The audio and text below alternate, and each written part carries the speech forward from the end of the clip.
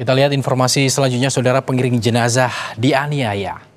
Seorang pengendara motor bersama rekannya menjadi korban pengeroyokan oleh rombongan pengantar jenazah di Samarinda, Kalimantan Timur. Tiga pelaku pengeroyokan itu kini telah ditangkap polisi.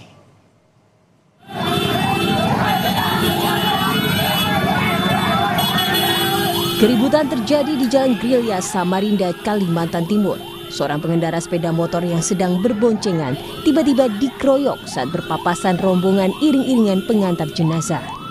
Tak terima dengan perlakuan ini, korban lalu melaporkan kejadian itu ke Polsek Sungai Pinang Samarinda. Korban merasa keberatan lantaran dirinya dipaksa berhenti saat berpapasan iring-iringan jenazah dan mendapatkan perlakuan pengeroyokan. Arah itu berlawanan, saya jadi dipaksa berhenti, entah urgensinya apa, karena menurut saya tidak ada urgensinya ketika pengantaran jenazah, pengendara lain harus berhenti dan mengalah.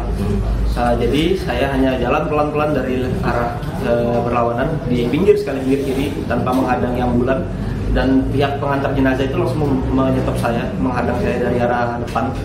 Lalu tanpa adu mulut, tanpa basa-basi langsung memukul saya dan juga uh, rekan wanita saya. Tak butuh waktu lama, tiga pelaku penganiayaan terhadap dua orang pengendara motor ditangkap reskrim Polsek Sungai Pinang.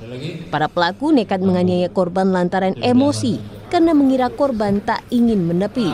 Mereka menyampaikan uh, korban ini tidak mau minggir.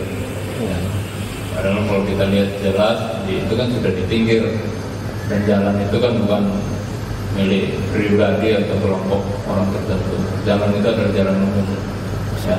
dan tidak ada kewenangan dari kelompok siapa pun untuk melakukan pengawalan dan tidak ada permintaan izin pengawalan juga Akibat perbuatan ini, tiga tersangka kini disangkakan pasal tentang penganiayaan dengan ancaman kurungan maksimal lima tahun penjara. Rijal Mustafa, Jasmine Jafar, Kompas TV Samarinda, Kalimantan Timur.